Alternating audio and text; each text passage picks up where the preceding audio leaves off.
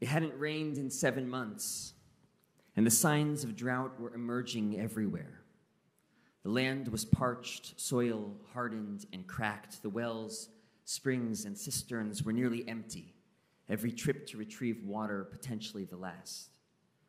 It was all they could talk about, all they could think about. What will we eat? Why is this happening? Should we leave?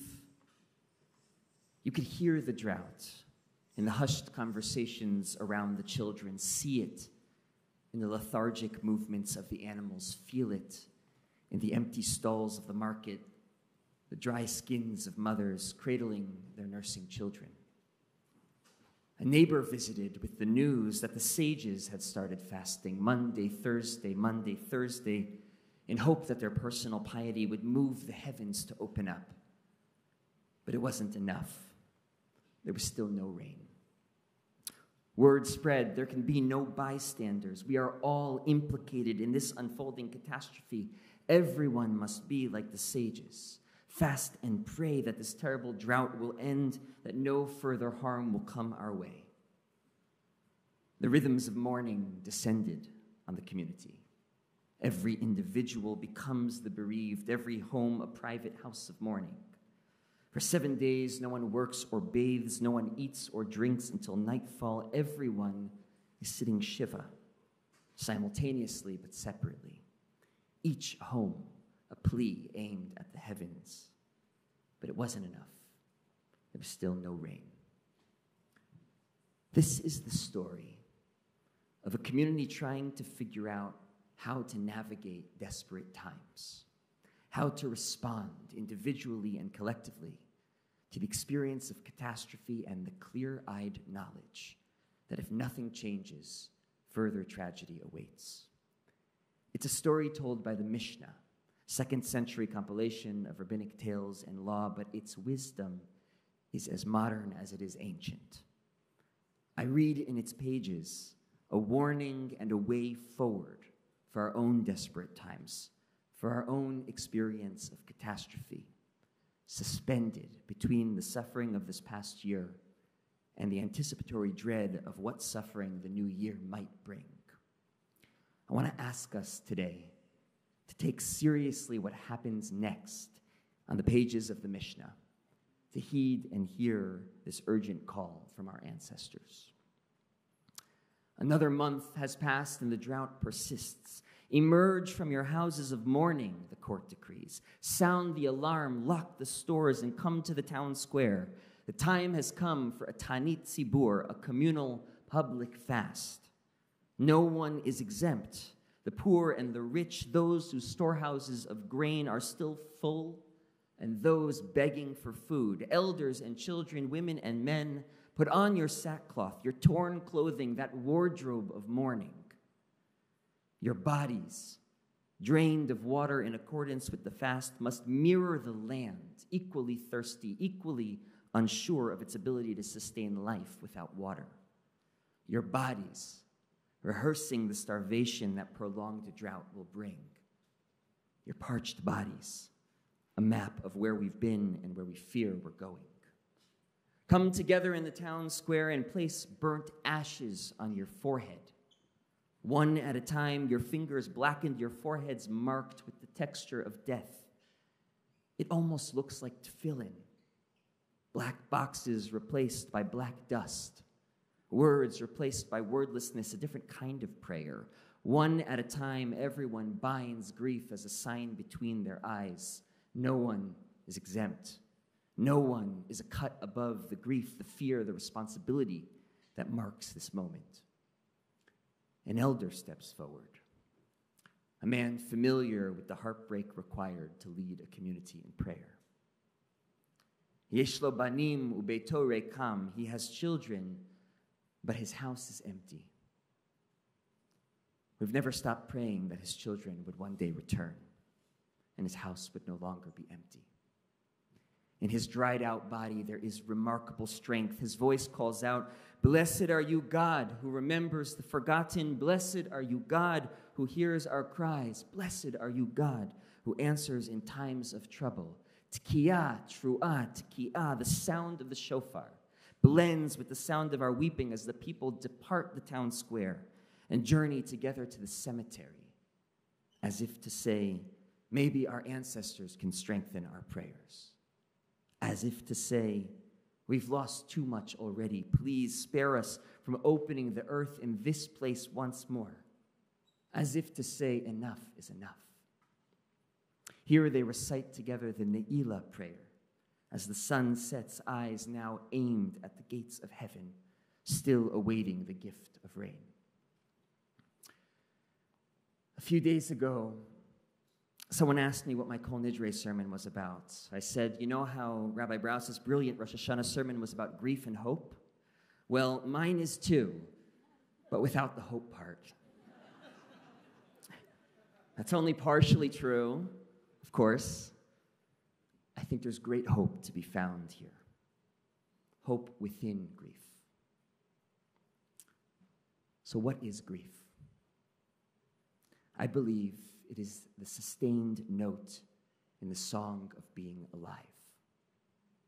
It isn't a problem to be solved, a condition to be medicated, or even an event in our lives. It is the persistent humming within our souls sometimes excruciatingly loud and painful, its volume immobilizing. Sometimes it's tender and soft, a melancholy that accompanies us throughout the routines of life. But it's always there, always within us. It is the evidence of our loving. In the words of the soulful psychotherapist Francis Weller, grief and love are sisters. Woven together from the beginning, their kinship reminds us that there is no love that doesn't contain loss, and no loss that is not a reminder of the love we carry for what we once held close. But grief is frightening. It pulls us into the dark corridors of life where the terrain is uneven, pathways are uncertain. Grief is heavy. Of course it is. It comes from the Latin root gravis, like gravity that undeniable feature of our existence that insists that everything must fall down. The weight of living, of loving, of losing brings us to our knees, low to the ground where we yearn not to be. In part because we've been told to stay away from this place. We live in a culture that pathologizes descent.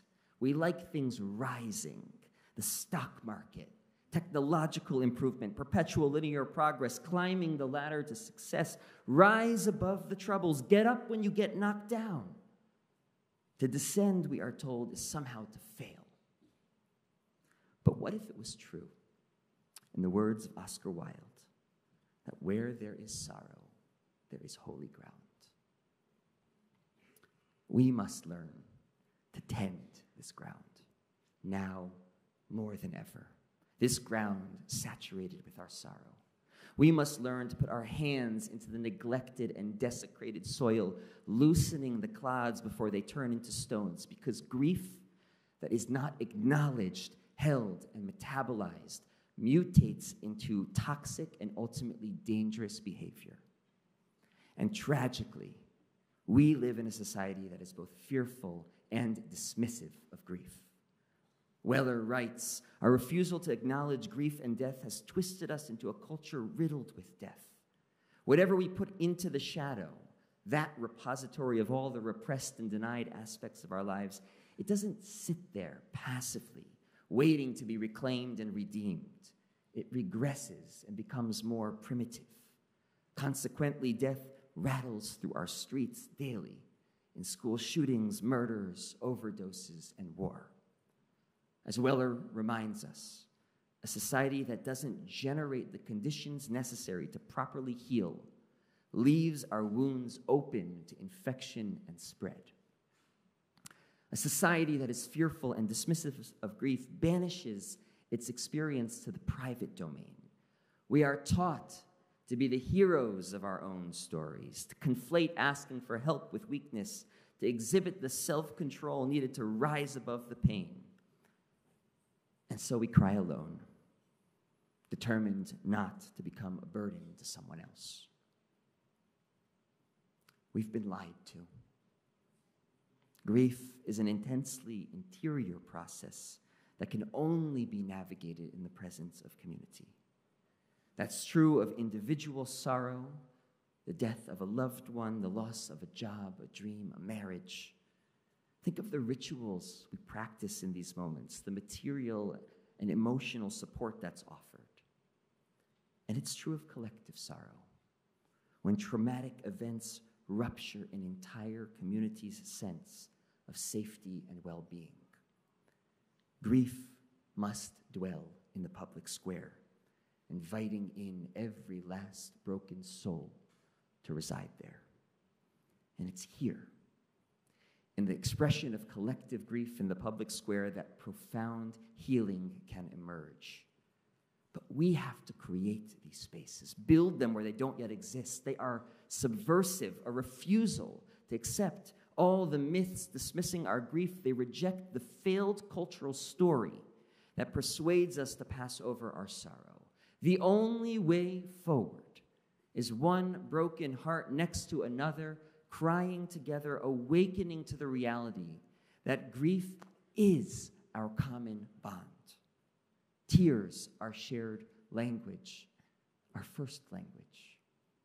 Beyond the distinctions built up through words, through flags, through stories, I can understand what your tears mean, and you can understand mine, and we can understand theirs, and they can understand ours. My friends, I have great faith in grief. Sit down on this holy ground of sorrow and don't move. Even when it's dark, don't move. We didn't choose to be here. We were knocked down, pulled into this fearful yet familiar place, but I promise you, you're not alone here. Stay with the trouble. Don't run away. There's too much to learn down here and so many tears to collect, so many people to learn to love and to be loved by and grieve fully. Let's return now to the story of the drought, to the Mishnah's vision of collective grief in the public square, a story that reaches across the generations and pulls us down into our contemporary experience of living between a tragic past and a dreaded future. I imagine that the rabbis of the Mishnah truly believed that their fast, their prayer, would bring an end to the drought. I don't share this theology, but I do believe that every component of this ritual helped that frightened community know that they weren't alone in the drought. So, too, the Mishnah calls out to us when you are in the midst of catastrophe, build communal rituals of grief and solidarity.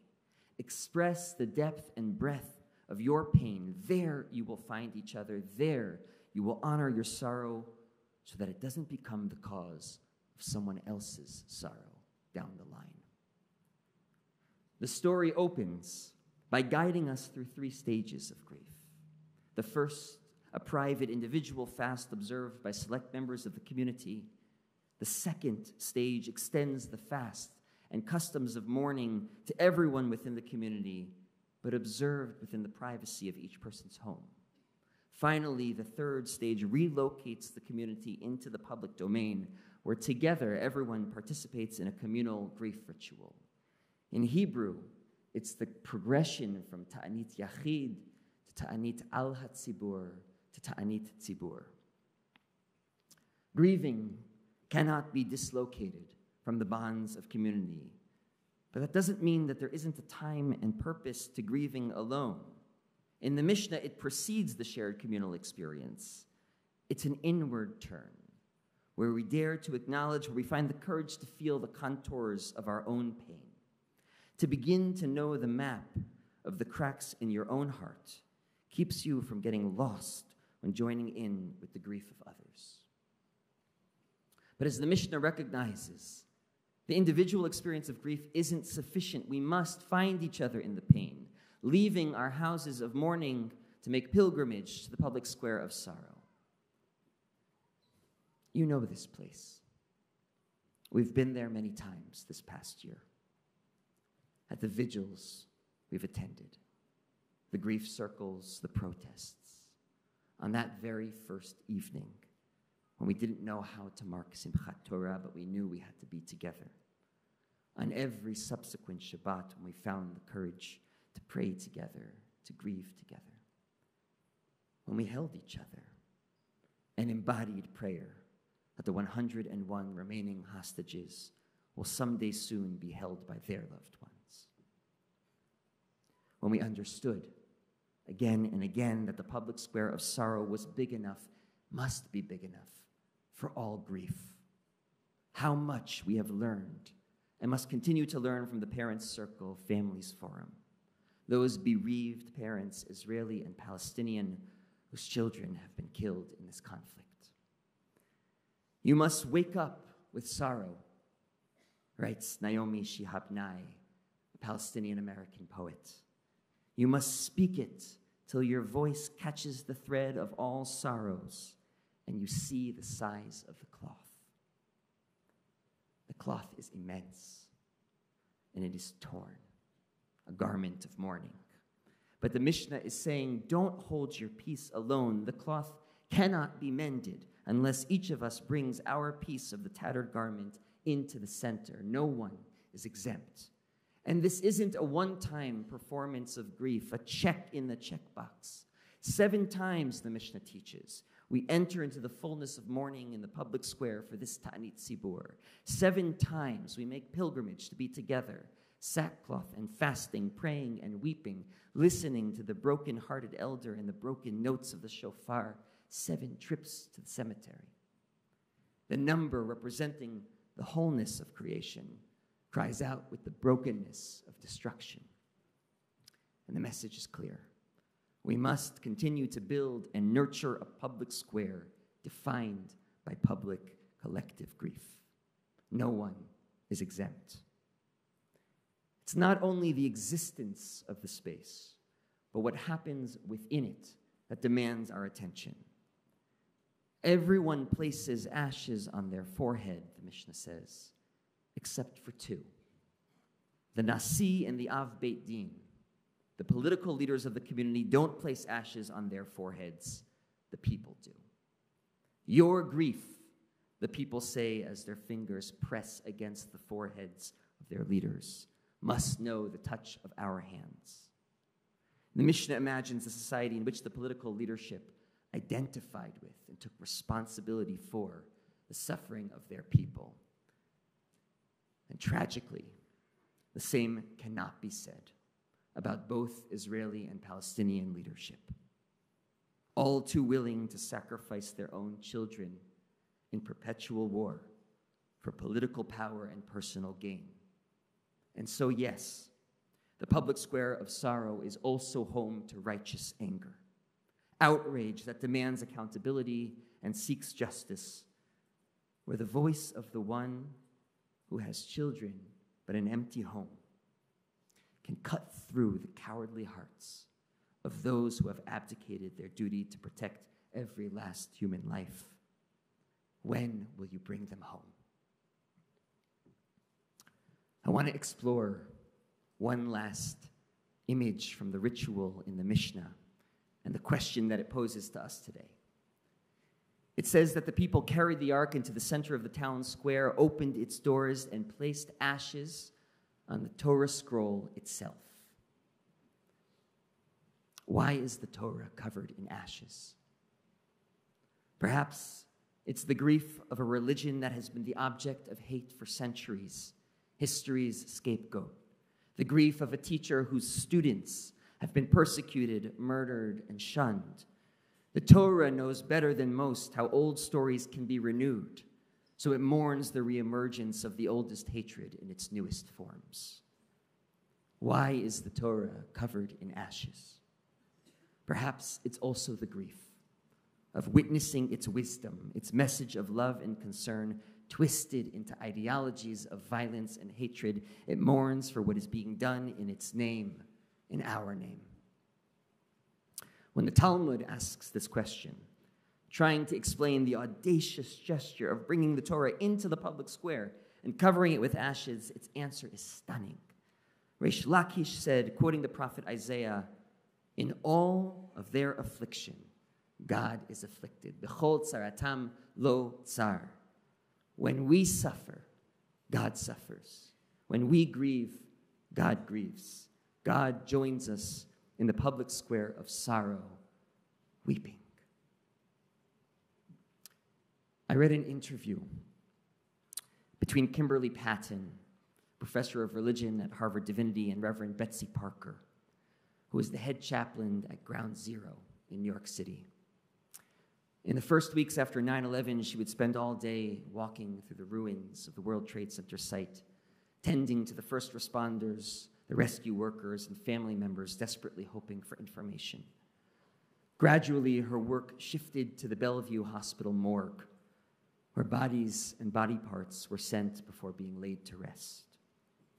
Here are their words exploring her experience. This particular morning, I heard a very deep, very frightening, deep moaning sound as I walked through the morgue.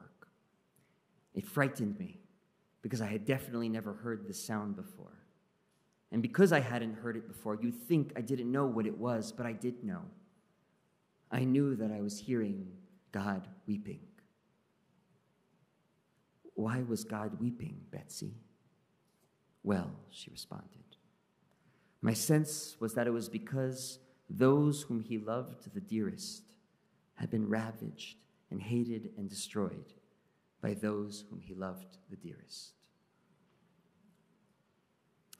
Here in Betsy's words, we encounter a God whose capacity for grief is limitless, whose capacity for love is boundless.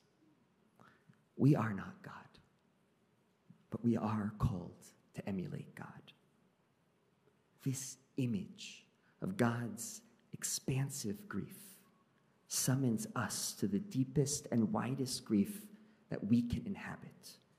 It reminds us that oneness is found in grief, this common bond of our humanity. Because something shifts when you look someone in the eyes and witness their tears, when they do the same for you the heart softens.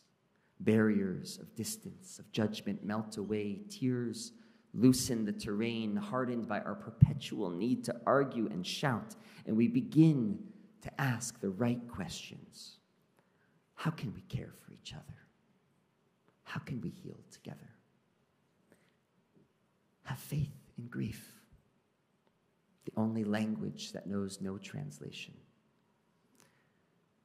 When we build spaces that honor our sorrow, all of it, the individual losses and the communal pain, we construct the architecture of change. We begin to transform a culture of denial and toxic rage, a culture of castigation and vilification, into one of kindness and kinship. Make pilgrimage to the places where we can witness each other's pain. That's where hope can be found.